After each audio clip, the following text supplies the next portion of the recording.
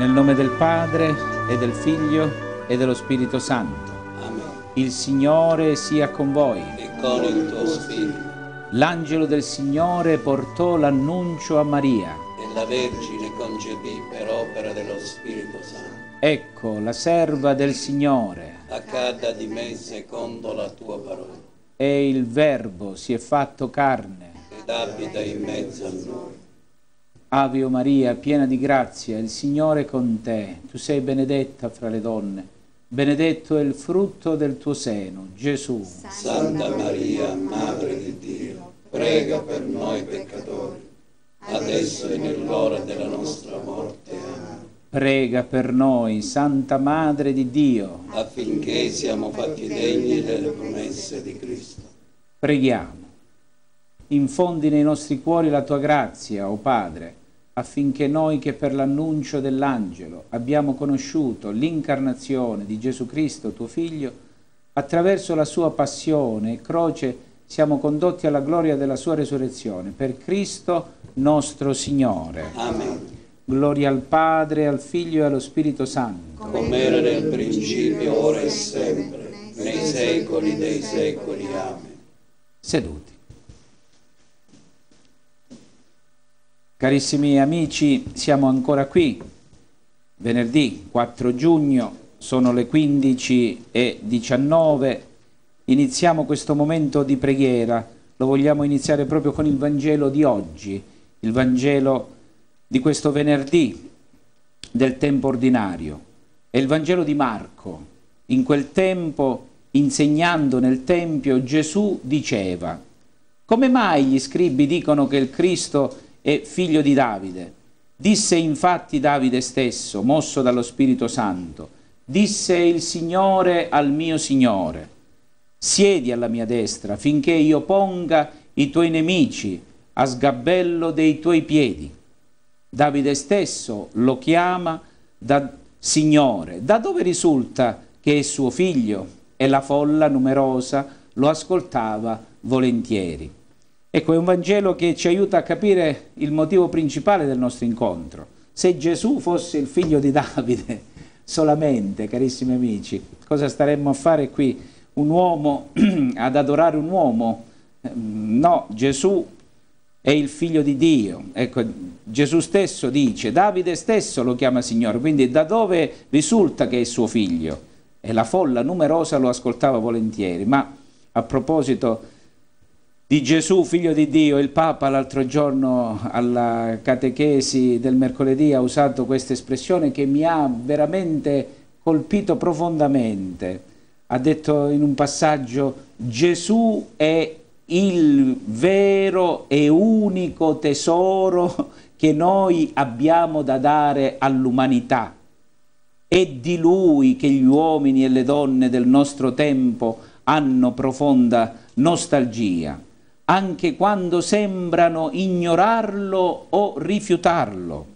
È di lui che hanno grande bisogno la società in cui viviamo, l'Europa, il mondo intero. Ecco, Gesù è il vero e unico tesoro. Ecco, quando manca Gesù, quando manca la fede, ecco, ha ragione davvero Italo Calvino Italo Calvino che è un ateo, ma aveva intuito la, il problema della vita, diceva l'inferno dei viventi non è qualcosa che sarà, se ce n'è uno è quello che è già qui, l'inferno che abitiamo tutti i giorni, si brucia dappertutto carissimi amici, eh? tante, in tante famiglie si brucia, c'è molte insoddisfazioni, ci sono liti continue, divisioni continue, tanti mariti e mogli non ce la fanno e abbandonano i loro figli e i, i figli vengono eh, sballottati di qui e di là, perché c'è proprio questo è il vero inferno, quando non c'è l'armonia, quando non c'è l'amore.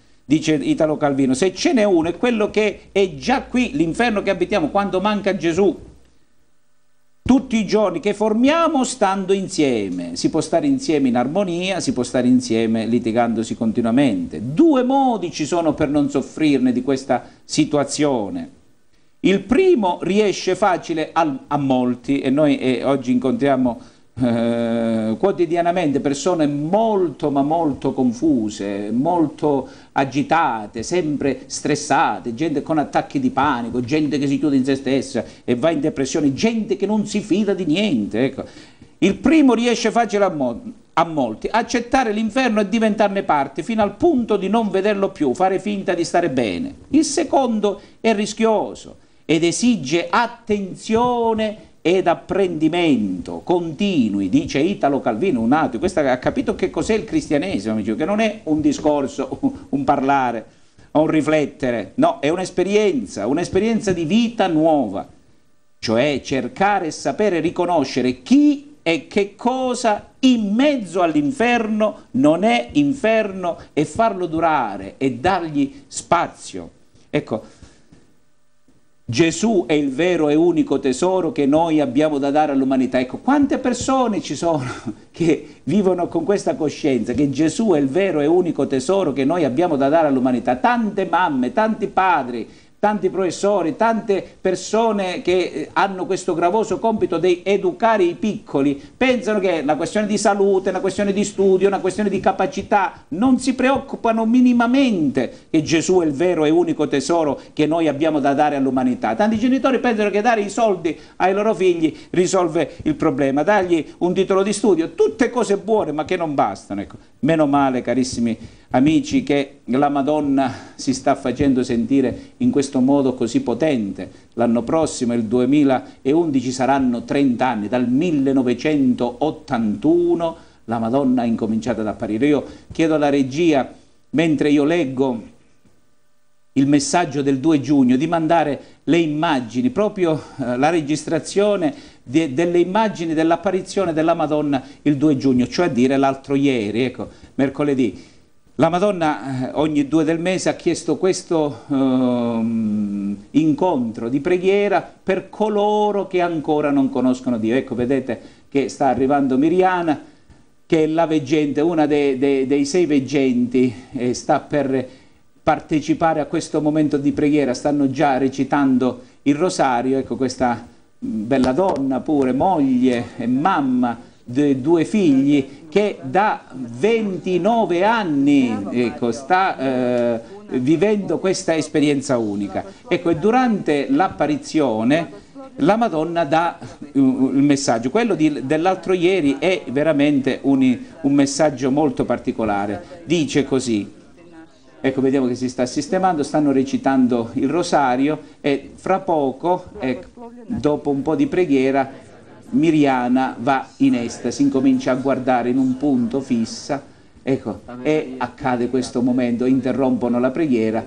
e c'è questo dialogo silenzioso tra lei e la Madonna. E poi alla fine dà questo messaggio che io adesso eh, leggo. Cari figli, oggi vi invito affinché con il digiuno e la preghiera tracciate la strada per la quale mio figlio entrerà nei vostri cuori. Ecco, è iniziata l'apparizione, ecco, ha incominciato ad avere questo dialogo misterioso, veramente eh, dei, vengono dei brividi guardando queste immagini, poi pensando che sono 29 anni, ma ci pensate, può essere una recita, una cosa così da 29 anni, che questa persona insieme ad altri 5 ecco, fanno questa sceneggiata, vedete quante persone che partecipano.